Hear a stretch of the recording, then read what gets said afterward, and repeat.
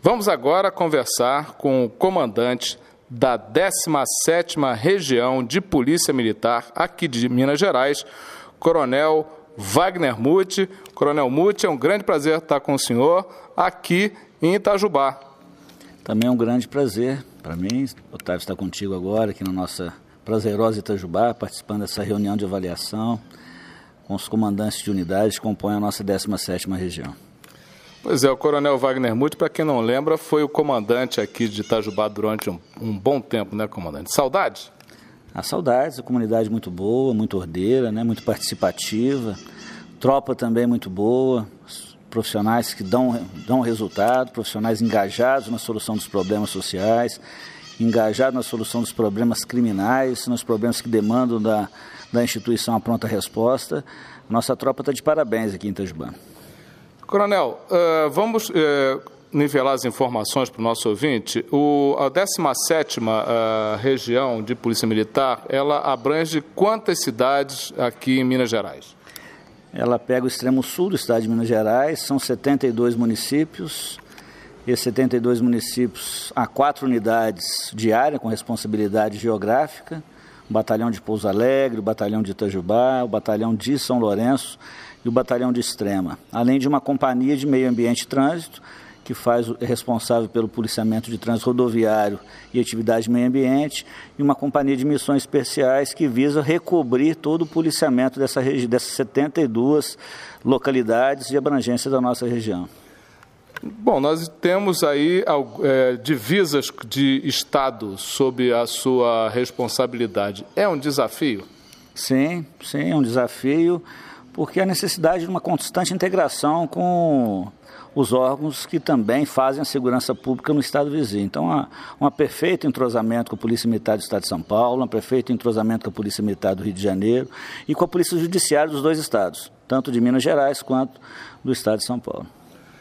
Bom, há uma. O senhor está aqui para uma reunião de avaliação com o seu, os seus comandados e com o alto comando da sua região.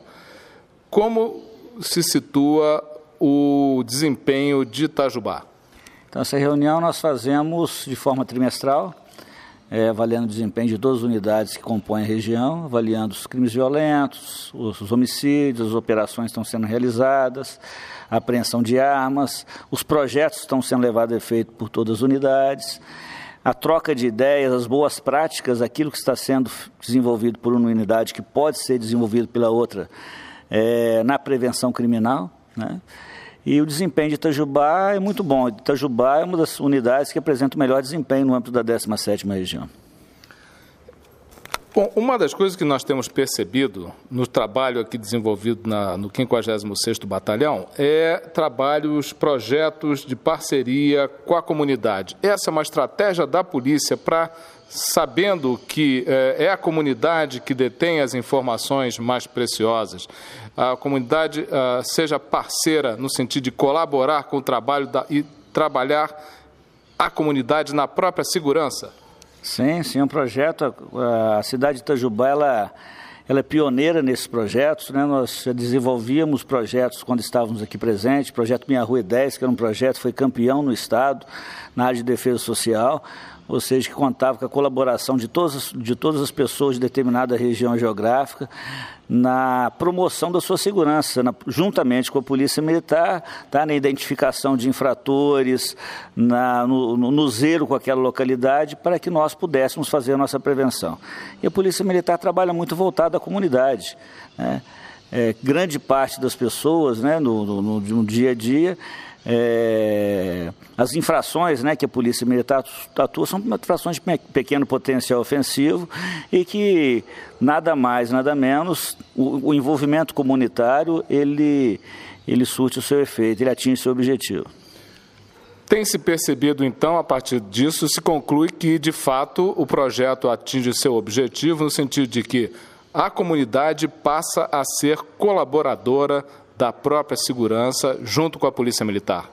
Sim, sim, a comunidade nos auxilia bastante porque ela conhece é, a particularidade daquela localidade onde, onde ela está inserida e pode nos ajudar. Né? Existem outros projetos sociais que a Polícia Militar está envolvida. Né?